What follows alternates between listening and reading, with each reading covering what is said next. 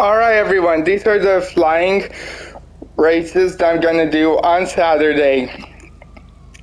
After school, chopper bombing, chopper killer, list, dusk, heli low fly zone.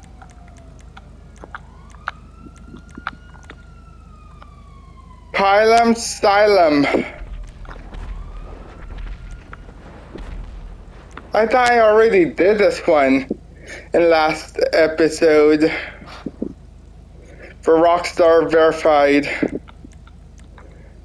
And L or SA Flight School Racing.